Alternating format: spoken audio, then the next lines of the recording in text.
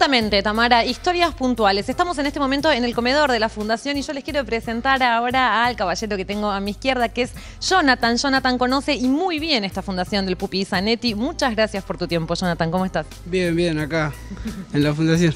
Está muy bien. Escúchame, ¿y cómo fue tu primer acercamiento acá? ¿Cómo, cómo viniste? ¿Cuántos años tenías y de qué manera te enteraste?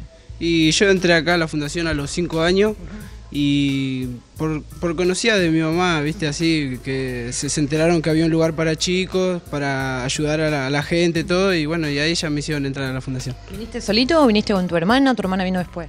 No, yo entré primero y ella entró después, eh, atrás. ¿Y te acordás? Digo, vos eras pequeño, pero ¿tenés algunos, algunos recuerdos de esos primeros momentos? Y sí, tengo muchos recuerdos. Por ejemplo, ¿qué hacían? Eh, de todos, salíamos a pasear, de todos hacíamos en la fundación. Y, y lo siguen haciendo todavía. ¿Y después te quedaste? ¿Cuánto, cuánto tiempo te quedaste acá? Y acá me quedé hasta los 13 años en la fundación. ¿Y ¿Qué cosas, qué cosas, qué cosas hacías, digamos, más allá de, nosotros decíamos un poquitito al principio que recibían apoyo, apoyo escalar, también médico de ser necesario. ¿Nos contás eso cómo era, cómo fue, por lo menos en tu caso? ¿Y de qué había en la fundación? Claro, ¿qué hacías? O sea, venías acá y qué hacías, por ejemplo. Y había deporte, había de todo, muchos proyectos, como natación, fútbol, de todo un poco había para hacer en la fundación siempre. Con muchos amigos, digamos, que te fuiste forjando. Sí, sí, había muchos amigos que con- conocía acá y otro que ya conocía por el barrio, sí, sí, Ahora, muchos. Llegó un punto en el cual, bueno, ahora tenés 15 años. 16. 16 años. Eh, de todos modos, seguís participando en esta fundación, o sea, as- asistiendo de alguna manera. Sí, ahora estoy como colaborador en la fundación porque me gusta ayudar como a mí me ayudaron, me, me gusta seguir ayudando a la fundación como a mí me. Yo estoy como colaborador, a- ayudo a la cocina, ayudo un, un poco de todo en la fundación. Y hay muchos chicos que a lo mejor que pasaron por esta fundación y que también les sucede lo mismo. Digo, algunos se irán, pero muchos se quedan o no. No, muchos no, muchos no tienen la oportunidad de seguir así. O- se puede seguir, pero es la cuestión de, viste, de cada uno, ¿no? O sea, depende de lo que uno, de lo que uno Claro. quiera. Claro, claro. Sí. ¿Qué, qué significó para vos este, o sea, este lugar? Si alguien te dice dentro de muchos años, o digamos en tu historia de vida, en tu existencia en este, en este tiempo y en esta tierra, ¿qué significa para vos este lugar? Y la fundación significa mucho para mí, porque ellos me ayudaron muchísimo a mí eh, y a mi familia, y a mucha gente ayudan también. Y esto significa mucho para mí.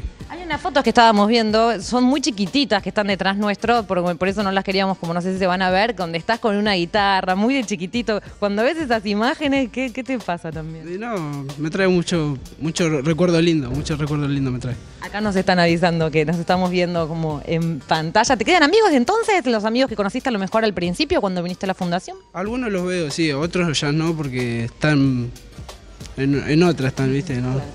¿Y cuáles son las necesidades dentro de tu propia experiencia, de lo que vos ves o viste durante todos estos años? ¿Cuáles son las necesidades más, más importantes que a lo mejor se acercan los chicos que vienen? ¿Cuáles podrías decirme que son? la, la necesidad que viene en la fundación y por apoyo a la escuela, porque viste como, como que necesitan también un apoyo.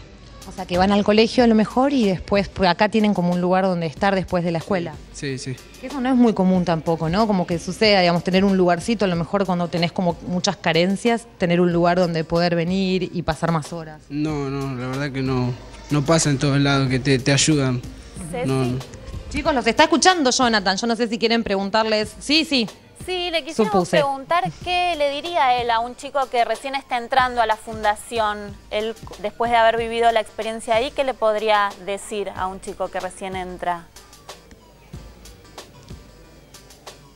Y le diría que aproveche las oportunidades que le, que le da la fundación porque son muy buenas y, y que siga como, como yo estoy siguiendo acá en la fundación.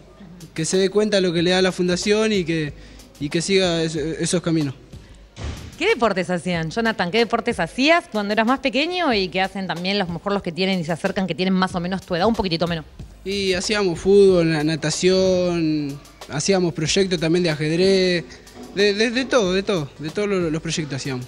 Bueno, Jonathan, yo no sé, chicos, si quiere preguntarle algo, si no lo dejo tranquilo. Los dejo tranquilo porque estábamos, estaba nervioso, Jonathan. Déjelo Pero creo que estás haciéndote muy ducho porque tranquilo. sos como el portavoz, hablaste muchas veces. Jonathan, muchísimas gracias. ¿eh? La mejor de las suertes. Nosotros nos quedamos, compañeros, acá en la Fundación porque vamos a conocer la palabra de otras personas que nos van a contar puntualmente cuáles son las actividades que realiza la Fundación Pupi Zanetti acá en Remedios de Escalada. Volvemos cuando ustedes los dispongan.